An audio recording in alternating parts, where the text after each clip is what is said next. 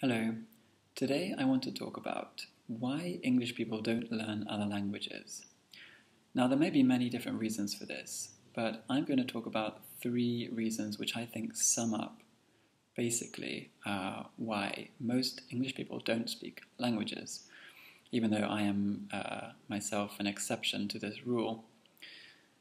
So, the first reason I think why English people don't speak other languages is uh, exposure. When you learn another language, it's very important that you have a lot of exposure to the language. Now, if you go on YouTube, for example, you'll find that basically 90% of the content is in English. And although you can find uh, content in Italian and Spanish and German and other languages, it's um, it's very probable that you're going to come across English content.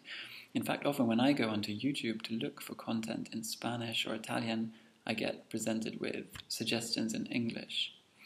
Because so much of the content on YouTube is in English. In fact, the world is swimming in a sea of digital English. If you have access to the internet, it's really not difficult to find English. So, exposure to English is very easy. Uh, and most of the internet, in fact, is in English, I suppose, since the internet was made by English speaking people. A second factor in uh, language learning is motivation.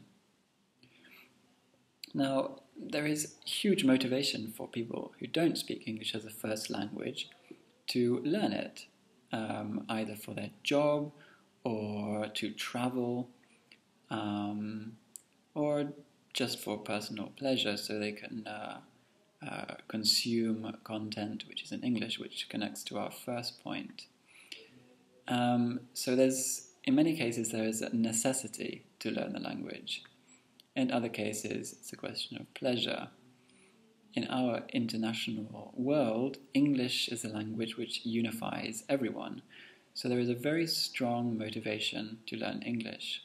On the other hand, if you speak uh, English as a first language, there's not a huge amount of motivation uh, to learn other languages, unless you go to another country in the, backwaters, let's say, uh, where people don't speak uh, your language. But in most cases, if you're living in England, that's probably not going to be the case. Now, a third point I want to consider is uh, levels of comfort. So let's say you are, for example, a French person and you speak English to a B1 level. So you don't speak it perfectly, but you can more or less express yourself, at least rudimentary concepts. So you go to England and you want to ask someone for directions. You might feel slightly uncomfortable because you don't speak English uh, perfectly and you're aware that you might make mistakes and so forth. Maybe you think you're going to be judged. These are all normal feelings.